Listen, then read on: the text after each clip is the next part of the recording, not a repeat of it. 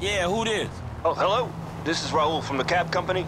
They said you bought the business, so I wanted to introduce myself. All right, cool. Shit.